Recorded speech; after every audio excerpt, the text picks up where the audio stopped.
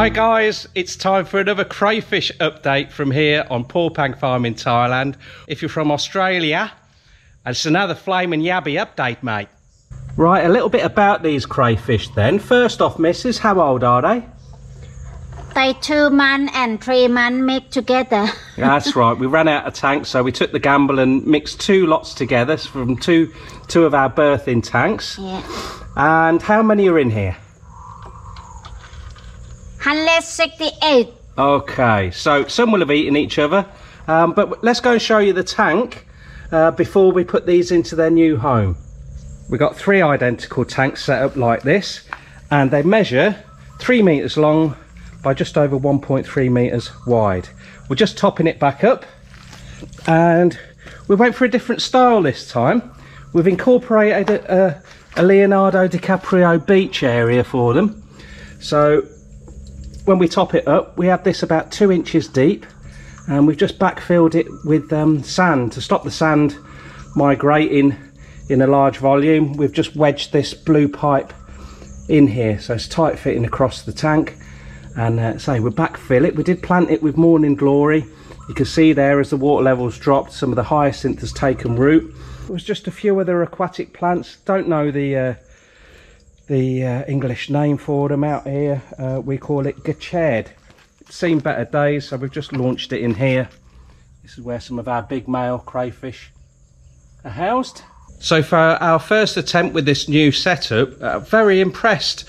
I would say we put about 300, 350 in there. It's hard to gauge really because they're, they're microscopic, these new babies. Before stocking them in here, we leave them in the birthing tanks for a couple of weeks. They eat the algae that's formed in the bottom of the tanks there. Then we transfer them to here. There's a little bit of algae already in here. When we clean these tanks out, we never scrape them clean. We just sweep it out. So there's a good, there's like a biofilm on the bottom of all the algae and then it bursts back into life as soon as we top it up. So when they're minute, they feed on that. Uh, and then they get into the aquatic roots of the hyacinth and the morning glory, that sort of thing.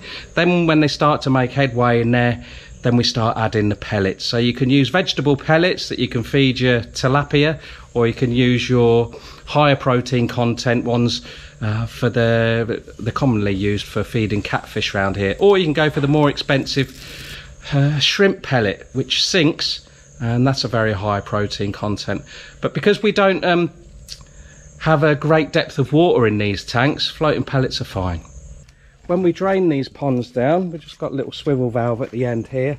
So we take this off put a big bucket underneath there and as it drains out well this time I poured it on my turmeric.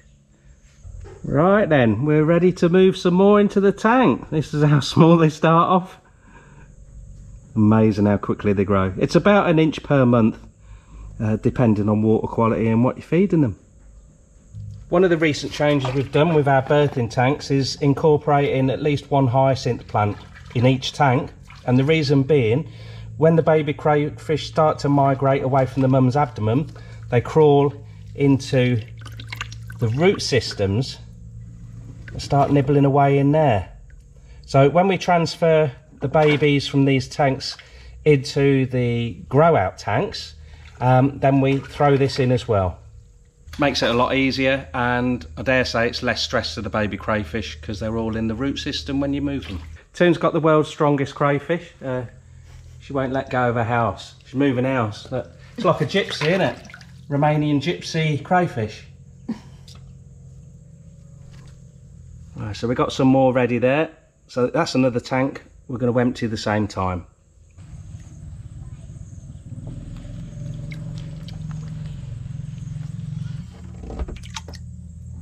There they are.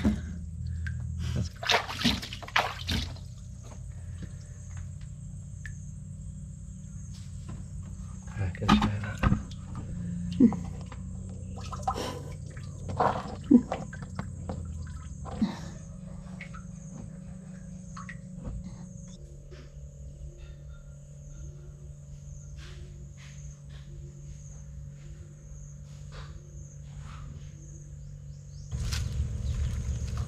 Uh, ah, ow! Mm, let go. These are pickup only. We don't send these through the post. Um, What size for this, Mrs.? Come, come get By yourself It's five baht each. Five baht each. Okay, next size. Show them that. Battery's running out. This Okay. side be 15 baht each. Yeah, that's another month Ah. older. Depend me. This side 20 baht. Okay. Ah, Ah, ah. felt your pain. This 50 baht. 50 baht each. This side 50 baht. When we first started crayfish farming, we paid 100 baht for these. Yeah. Um, but uh, yeah, you've got to come and get these yourself. Unless you're buying the, the big males for the table or breeding sets, um, you've got the, it's farm gate pickup. But the big ones we do send through the post, not a problem. Yeah. Right, let's put them in their new home, missus, where they're going to grow big. That's good. Let's go. Right, so these are going to go in the outside pond for growing on. And then we want them, we just throw the trap in. Nice and slow, misses for the camera. Ripper. Hang on, let me erect my thingy. That's it. Go for it. They're not go. My bye. You're not boiling them in the hot surface of the water, are you? If they all go orange, it means it's quite hot in there. No, water not hot at all. When you're letting these go, always choose the shadiest part of the pond to let them go.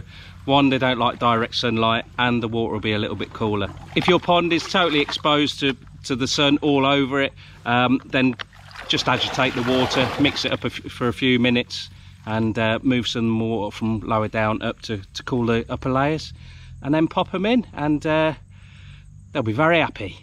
If you're thinking about getting into growing crayfish and you haven't got an outside grow out pond, don't worry, you can just keep them in your tanks.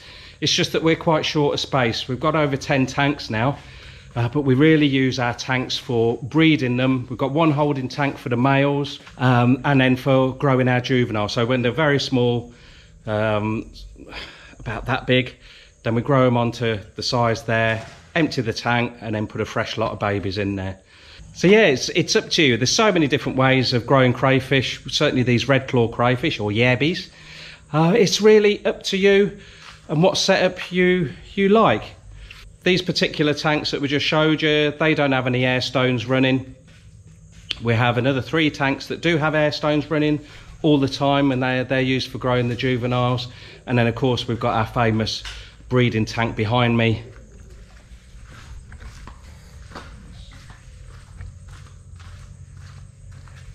just running a simple air pump off there to several air stones in here. We turned it off for the for the video. It's a little bit noisy.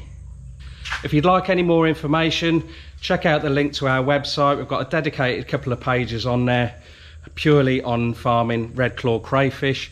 Uh, please bear in mind, guys, we don't export our crayfish outside of Thailand. We must get an email or message every every week, at least one, asking for us, you know, if we're a supply a price to um, export to the Philippines, uh, the US, and so on.